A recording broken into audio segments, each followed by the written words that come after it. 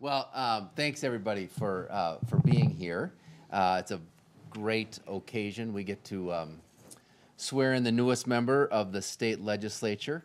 Um, before we get to that, though, I do want to just take a minute uh, to remember a little bit of why we're here uh, and remember uh, the great service uh, that David Dill provided the state of Minnesota.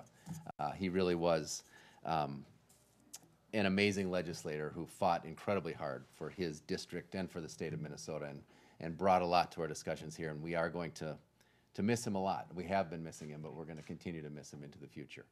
Um, uh, you know, that said, I think uh, Rob Ecklund is going to be an incredible uh, new legislature and really um, undoubtedly is up to the job of uh, being as great a legislator as, as David Dill was.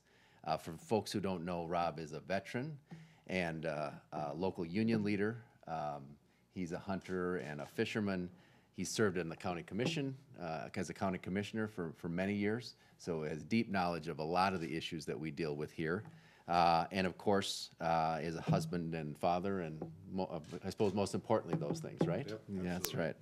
Um, he had a, uh very strong victory in a, in a, um, in a special election, you know, when you don't know exactly what's going to happen. And I think it, it uh, is really because the people of, of his district, of District 3A, um, knows how strong a legislator is going to be, knows that he understands their issues and is going to fight for them. And uh, so I'm really pleased that we are uh, able to be here today to swear uh, Rob Ecklund in. So I am pleased to report that the certificate of election has been issued and is on file. Um, it- Rob, why don't we step up here, and if you would raise your right hand to take the oath? Do you solemnly swear or affirm that you will support the Constitution of the United States, the Constitution of the State of Minnesota, and that you will faithfully discharge the duties of the office to which you have just been elected to the best of your ability, so help you God? I do. All right, congratulations and welcome. Absolutely.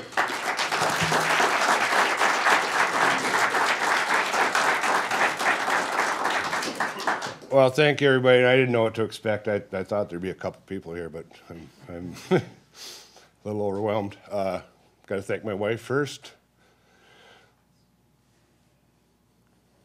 And I do it every time.